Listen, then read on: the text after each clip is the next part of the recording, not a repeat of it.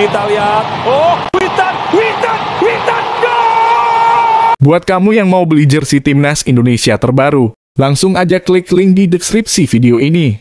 Dan nikmati promo gratis ongkirnya. Buruan sebelum kehabisan. Mohon subscribe channel ini dulu, supaya gak ketinggalan berita terbaru timnas Indonesia. Kalau secara memalukan dua kali lawan timnas Indonesia, pelatih Curacao Rumko Bicentini dipecat Federasi Curacao atau tidak?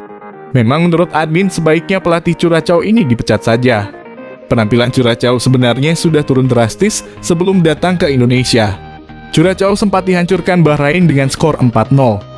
Tapi anehnya setelah menerima kekalahan beruntun dari timnas Indonesia.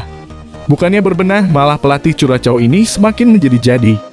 Bahkan sebelum laga, ia bahkan bilang akan menunjukkan permainan sesungguhnya lah, ingin balas dendam lah. Kenyataannya malah kalah dua kali. Di sisi lain, keanehan juga muncul dari netizen Curacao. Netizen Curacao melontarkan sindiran kepada pemain timnas Indonesia yang dianggap mudah jatuh seperti bintang Brasil, Neymar. Sindiran itu diutarakan ketika pertandingan Indonesia versus Curacao tengah berlangsung. Juninho Bacuna layak mendapatkan kartu kuning. Tapi terlihat pemain-pemain Indonesia pernah menonton beberapa kompilasi aksi teatrikal Neymar sebelum pertandingan.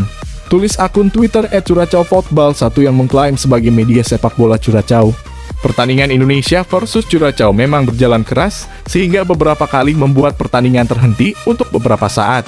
Total 7 kartu kuning dan satu kartu merah diberikan wasit asal Laos, Saipa Pohum Sanit di pertandingan ini.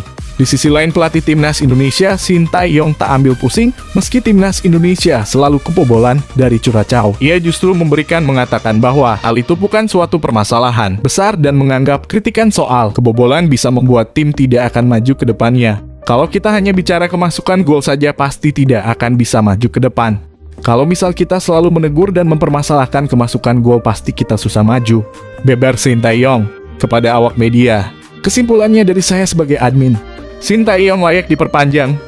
Remco Bicentini layak dipecat.